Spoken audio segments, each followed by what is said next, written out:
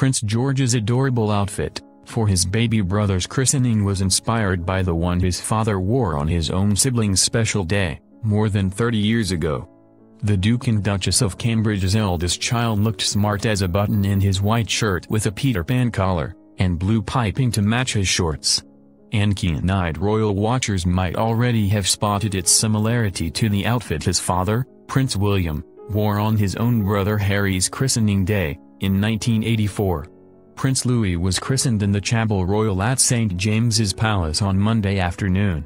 Watched by his proud parents Kate and William, Prince George, their sister Princess Charlotte, and a small group of immediate family and friends.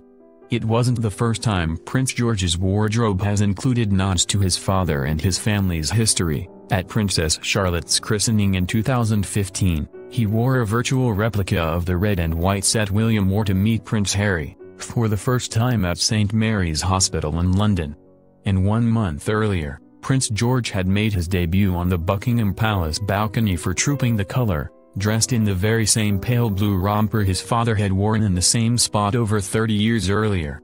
George was held up by William for a better view on the day, in a striking echo of a 1984 photograph of the now Duke of Cambridge, in the arms of his own father.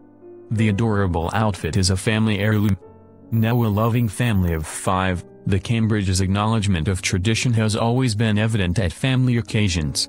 Following the service yesterday, guests gathered at Clarence House to enjoy a private tea hosted by William and Kate, which included slices of the couple's wedding cake from their nuptials, in 2011.